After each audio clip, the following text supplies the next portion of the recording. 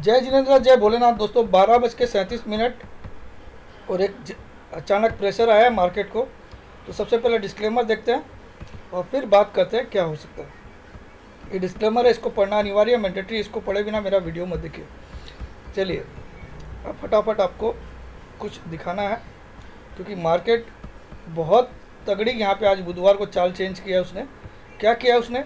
कि पहले पुट को आज मारेगा, फिर कल कॉल को मारेगा। तो कल भी गिरने वाला नहीं है अब। अब खाली एक ही चांस है मार्केट गिरने का। अगर ये 725 को तोड़ देता है। क्यों 725 कल वाला वीडियो में भी मैंने बोला था, अब आपका स्टॉप लॉस 725 जो इंटरडे वाला 800 का स्टॉप लॉस हो गया सबका।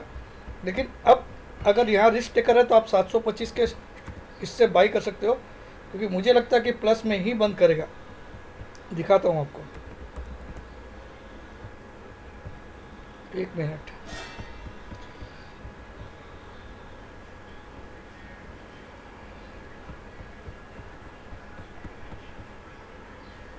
सात सौ तेईस सेवन ट्वेंटी थ्री ये जो इस कैंडल का लो है, नौ पंद्रह की कैंडल है, सत्ताईस तारीख की, सुबह की कैंडल उस कैंडल का लो अगर टूट गया सेवन ट्वेंटी थ्री तो मार्केट गया, वरना आज ग्रीन में बंद होगा।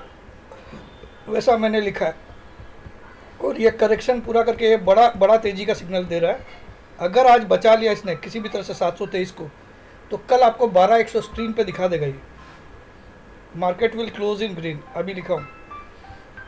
अगर इसने बचा लिया 723 को तो कौन सा स्पॉट में?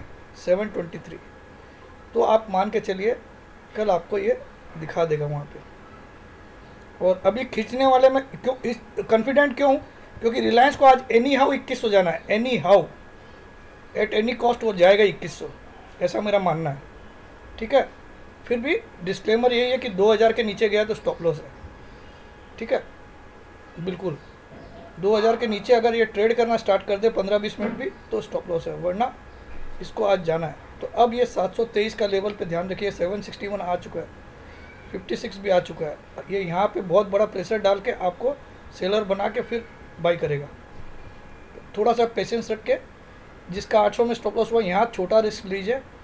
700 का स्टॉप लॉस डाल दीजिए, क्योंकि 23 का लेवल एग्जैक्ट नहीं डालना चाहिए। ठीक है? और कोटक बैंक अभी मार्केट को खींचेगा और रिलायंस खींचेगा, मैं आपको बता रहा हूँ। कोटक बैंक आज भी 1600 के ऊपर जाएगा, अभी 46 चल रहा है। और रिलायंस भी खींचेगा तो ध्यान रखिएगा इस चीज़ का। बैंक निफ्टी ने तो थोड़ा वीकनेस दिखाया, लेकिन कोटक बैंक वापस खींचेगा, ऐसा मेरा मानना है। आज 1600 फिर से जाएगा, और रिलायंस भी आज 2100 जाना ही है।